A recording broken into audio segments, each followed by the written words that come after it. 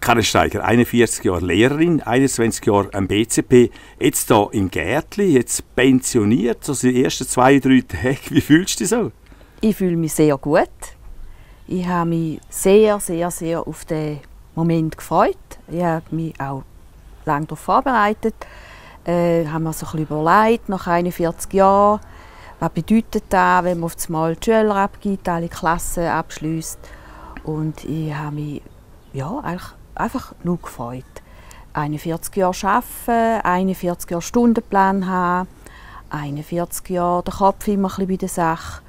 Und jetzt auf einmal kann ich ernten und kann meine Zeit, die ich jetzt habe, die habe ich einfach zur freien Verfügung.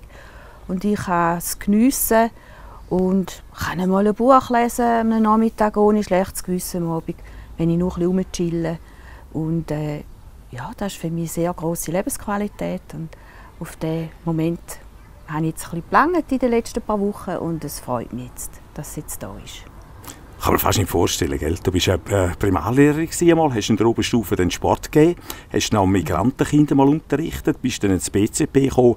Du hast ja Schicksalsschläge hinter dir. Du bist mit dem Röbieli verheiratet gewesen, der ist dann gestorben, der bist etwa 30 gewesen. Ich glaube, damals einen Hodenkrebs, hast dann den Erich Steiger kennengelernt und bist immer ganz eine dreifige Frau gewesen und bist sicher jetzt schon irgendwie als Halbitalienerin nervös, ob es die Italiener mögen gegen England im Finale. Wir sind jetzt ja kurz davor. Also du kannst dir vorstellen, dass du die Pensionierung schlägt. Jetzt gerade fünf hinten? Das ist eine Stunde der Wahrheit, dass die Pensionierung so richtig noch wirklich kannst geniessen Ja, die Pensionierung kann ich wirklich geniessen. Äh, so wie du gesagt hast, äh, äh, man hat, oder ich habe auf meinem Lebensweg äh, äh, Freude und Leid gehabt. Es hat Momente gegeben, die sehr schwierig waren, wo, wo ich durchkämpfen musste da habe ich im Sport gelernt, im Sport gewünscht und im Sport verlierst. Und ich hatte das Glück gehabt und habe auch die Energie gehabt, um im 90 zu Rorschach meine Zelte abbrechen, ins Rintel kommen, neu anfangen und habe in dieser Zeit einen wundervollen Mann kennengelernt. Wir haben eine Familie gegründet, wir haben einen Sohn. Und das ist jetzt eigentlich wieder die Belohnung, wie im Sport. Du, du kämpfst, du trainierst und jetzt kannst du eigentlich ernten von deiner von deinem Einsatz. Und ja, Italien gewinnt am Sonntag, ganz klar. Du hast auch oft gewonnen, gell? nicht nur mit dem Sohn, der wirklich jetzt ja eine steile Karriere gemacht hat. Auf das gehen wir jetzt aber nicht speziell ein. Aber du hast auch sonst gewonnen, sagen mal, was es deine Beziehung zu den Schülerinnen und zu den Schülern betrifft. Oder? Das ist immer eine sehr grosse Wertschätzung. Gehabt. Ja, also 41 Jahre lang hatte ich, hatte ich einfach eine gute Zeit. Gehabt. Ich habe bis letzten Dienstag mich auf jede Lektion, auf jeden Tag gefreut. Ich bin motiviert gegangen. Ich bin ein stolz eigentlich, dass ich es geschafft habe, 41 Jahre authentisch zu bleiben. Meine Art ist einfach angekommen bei den Lernenden. Ich war nie der Kumpel, ich hatte immer den Lead, aber für mich war es eine Teamarbeit. Und sehr respektvoll im Umgang. Wir haben akzeptiert äh, verschiedene Meinungen, verschiedene Herkünfte, verschiedene Ansichten. Und ja, es ist eine wunderschöne Zeit mit diesen jungen Menschen zu arbeiten. Und ich habe gespürt, dass sie es auch immer geschätzt haben. Gerade jetzt so richtig Ende von meiner, von meiner Arbeitszeit. Schüler haben sich bedankt teilweise äh, in WhatsApp. Äh, ein Schüler vom, vom Jahr 2010 hat mir am Dienstag ein WhatsApp geschickt und hat mir gratuliert zu der Pensionierung und hat sich bedankt quasi, dass er hätte mal dürfen zu mir in die Schule und solche Zeichen habe ich immer wieder bekommen von verschiedenen Seiten. Und das ist, also etwas Schöneres gibt es nicht. Das ist mega. Der letzte Tag, der hast du mit dem Vorlehrling vollbracht. Mhm. Ist es gewesen? Vorlehrling ist etwas anderes gewesen als natürlich die Allgemeinbildung, mhm. wo du zum Teil auch grossen Erfolg hast bei der Vertiefungsarbeit, wo du die ersten drei Ränge geholt hast mit deiner Klasse. Wie war mhm. das mit den Vorlehrlingen? Vorlehrlinge sind angehende äh, Fachfrauen, Fachmänner Gesundheit, also Betreuung, Gesundheit, äh, sehr tolle junge Menschen, wo, wo, wo ich bewundere. Mit 16, 17 äh, haben sie Praktikumsstellen in einer psychiatrischen Klinik, in einem Spital, in einem Pflegeheim und mit diesen jungen Menschen habe ich dürfen arbeiten. Es ist ein Dürfen. Also es ist, ich habe auch so viel von denen gelernt. Also, und ich habe einen riesen Respekt vor diesen jungen äh, Menschen, was, was sie leisten und was sie schon können und was sie können ertragen können. Und der letzte Tag ist, ist sehr besonders gewesen, weil ich bin eigentlich jedes Jahr nach Bern in die Session einen Besuch machen und durfte einen guten Freund von uns, den Nationalrat Christian Lohr, besuchen. Wir durften ein Gespräch führen mit den Lernenden. Der Christian Lohr ist selber körperlich sehr beeinträchtigt. Er hat sich immer Zeit genommen für die Schülerinnen und Schüler und er hat spontan vor zwei Wochen mir angerufen und hat gesagt, du, Corona-Situation hat es jetzt zwei Jahre nicht zulassen, dass du auf Bern kommen aber an deinem letzten Schultag komme ich dich besuchen, das BZB. Und er ist tatsächlich ähm, Viertel ab zehn mit dem Zug angekommen, ist bis am Nachmittag um drei geblieben. Und äh, mit seiner offenen Art hat er den Schülern erzählt, hat, ja, wir haben die Zeit miteinander geniessen und für mich ist das auch eine, eine riesige Wertschätzung und ein, ein sehr großes Zeichen von so einem Menschen, der extra für meinen Abschied noch auf Buchs ist. Ja. Wir hören jetzt noch zwei, drei Meinungen von Vorlehrlingen, oder, wie sie den Weg gefunden haben, Trank der Vorlehr, und erleben auch den Empfang vom Christian, den du gemacht hast. Wir hören den Christian. Jetzt aber, bevor wir das so einspielen, was ist so dein grösster Wunsch jetzt? Wir stehen übrigens jetzt eine Stunde gell, vor der Verabschiedung äh, mhm. bei der Allgemeinbildung, gell?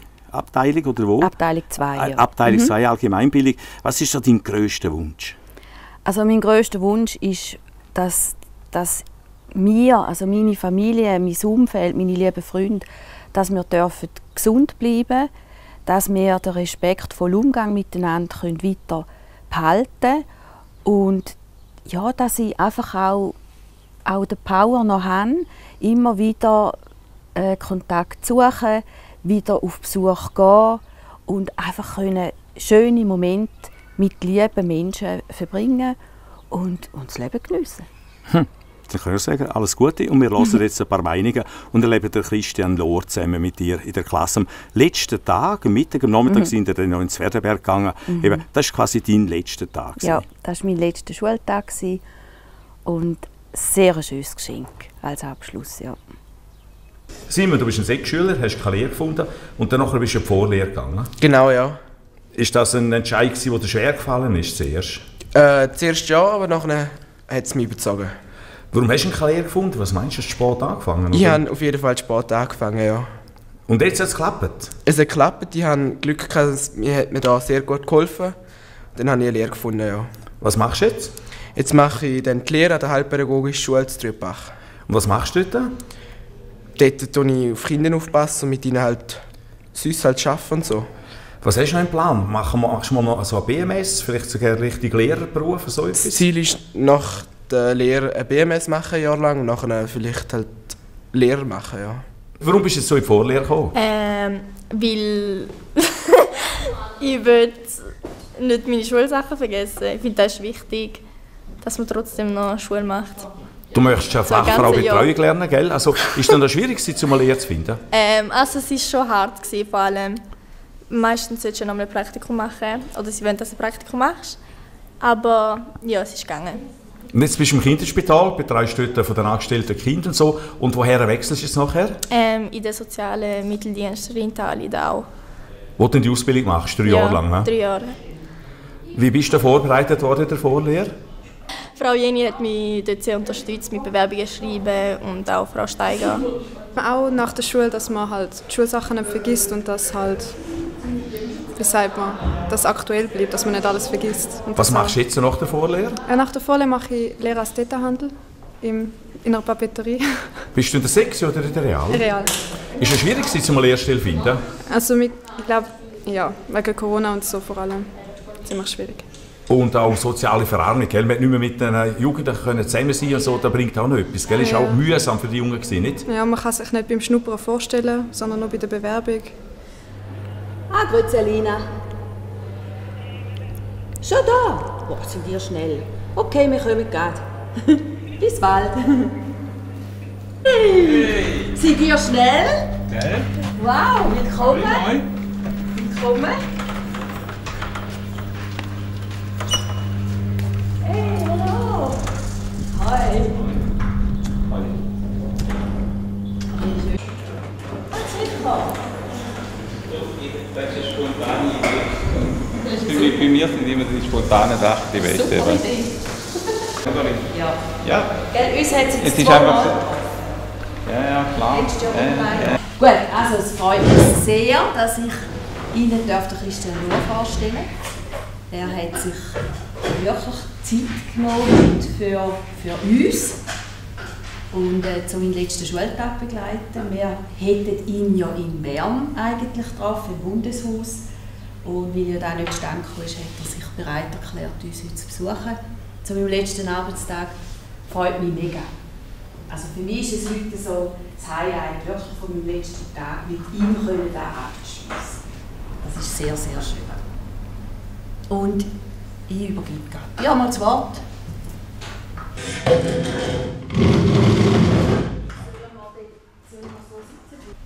Wir haben uns auf dem Campingplatz kennengelernt. Ähm, Was? genau, genau, genau, bei, der- bei den Tanten auch. Und haben uns dann immer wieder mal getroffen.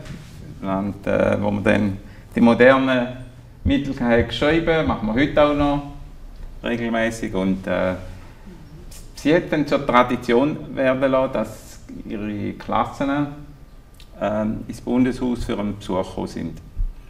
Und letztes Jahr und dieses Jahr ist das leider wegen Corona nicht möglich gewesen. Und dann hat sie mir gesagt, du, das wäre das letzte Mal gewesen. Und dann habe ich gefunden, nein, das war nicht das letzte Mal gewesen. Und habe dann kurz geschrieben, kann ich zu dir kommen, kann ich zu eurer Klasse kommen, zu Ihnen in die Klasse kommen, Entschuldigung. Ähm, und dann hat sie geschrieben, ja, das wäre wunderschön. Und äh, dann ähm, habe ich geschaut, dass, da, dass ich das organisiert bringe. Ich wollte noch ein bisschen länger bleiben, aber inzwischen ist mein Kalender bis am Abend um 7 Uhr voll. Ein Termin nach dem anderen. Aber das ist der schönste Termin für mich heute. Obwohl ich heute noch zu einer Eröffnung von einer Schokofabrik gehe. Oh, Genau. Also, das ist jetzt auch ein ein Jockey-Termin. Also, heute habe ich zwei Jockey-Termine. Es gibt immer tausend Ideen bei, bei, bei, einem Gesetz, was man könnte machen wie man es könnte machen äh, Ja, und, und es ist nicht so, dass man über alles detailliert ganz genau Bescheid weiß, jeder. Sondern da hat dann immer so Fachgruppen, die sich damit uns auseinandersetzen. Ich bin in der Fachgruppe oder in der Kommission für soziale Sicherheit und Gesundheit. Ja, das ist auch sehr weitreichend, das können Sie sich ja vorstellen. Ähm, so ein, ein Spezialgebiet von mir ist geworden, dass ich mich auf, auf Themen stürze, äh, um, um zu schauen, dass wir unsere Gesundheitskosten ein bisschen im Griff behalten können. Beeinträchtigt, dann kannst du da nicht und da nicht, musst auf da verzichten. Und, und dann sagst du, du, bist, du hast ein Privileg, so leben zu können. Dann, dann tue ich das immer ein bisschen näher erläutern und sage natürlich ganz klar, es, es, es geht da um etwas anderes. Also ich, ich habe gelernt, ähm, dass, dass mein Leben wirklich Sinn macht. Also ich sage immer, mir geht es nicht trotz meiner Behinderung gut, sondern mit meiner Behinderung. Ich habe meine Behinderung akzeptiert, ich lebe mit meiner Behinderung. Das ist, das ist ein Teil von mir, aber es macht nicht mich aus. Das, ist ganz wichtig, oder? Es macht nicht mich aus, Behinderung. Oder macht es mich aus? Äh, nein, also ich, ich, ich glaube immer, äh, ich bin Mensch, in allererster Linie Mensch. Und, und, aber ich kann zeigen, hey, man kann mit, als Mensch auch mit so einer Behinderung leben. Und ja, ich gebe täglich Gas und, und, und lebe leb gern. Und ja, habe Mut und Kraft und Energie. Und, ähm,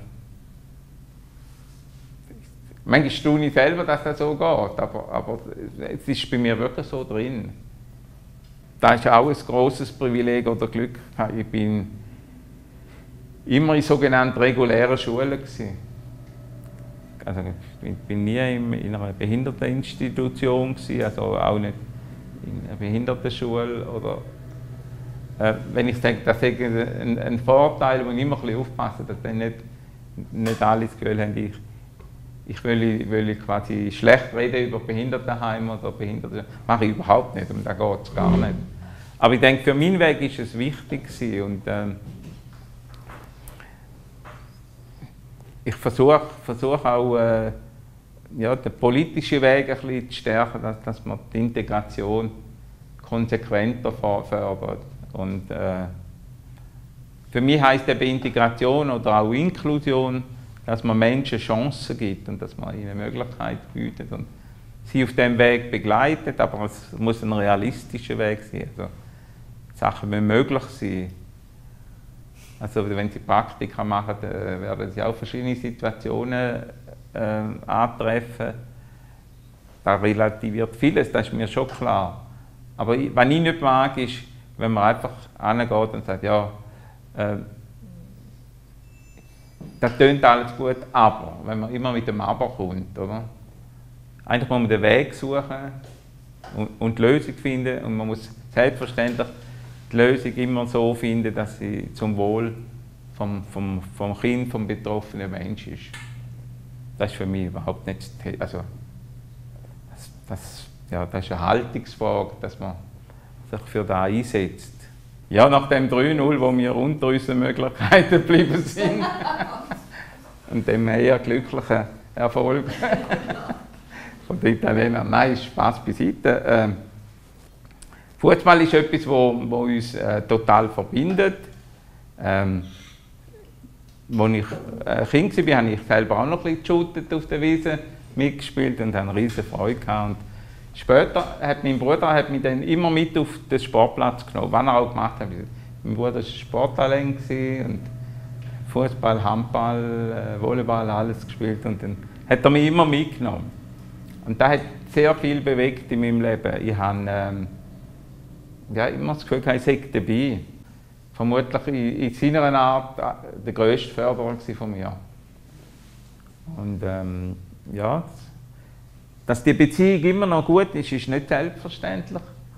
Ähm, und äh, ja, ich, ich mache heute einmal noch ein bisschen Spaß daraus und sage, ja, eben, also es hat doch eigentlich noch nicht viel geändert bei mir. Auch heute habe ich noch gern, wenn die Leute nach meiner Pfeife tanzen. Oder? Ich bin sicher ein, äh, ein Mensch, der sozial geprägt ist. Aber ich muss immer sagen, für mich hört es dann auf, wenn, wenn Leute System ausnutzen, wenn, wenn die Sachen nicht korrekt laufen. Das mag ich gar nicht vertragen. Und, äh, ich engagiere mich sehr gerne äh, und, und auch, ja, wie soll ich sagen, aus voller Überzeugung für Menschen mit Beeinträchtigungen für, für Menschen, die sozial schlechter gestellt sind, schwächere Menschen, ältere Menschen speziell auch. Da mache ich wirklich aus Überzeugung. Ähm, das heisst aber nicht, dass ich, ich ähm, das Gefühl habe, man, man kann nur einfach Geld verteilen, äh, sondern ich, ich, möchte eigentlich jeden Menschen dazu ermuntern, der das kann und, und dort, wo es gut geht, ähm, auch eigenverantwortlich äh, seine, sein, sein Leben zu bestreiten. Was, äh, was mich immer freut, Spitzbüb ist sogar freut, ist, äh, ich kann mit Stäbli essen. Und wenn ich mit, mit, mit Kollegen unterwegs bin, denen kann ich immer alles ab. Und ich, ich habe meine Technik.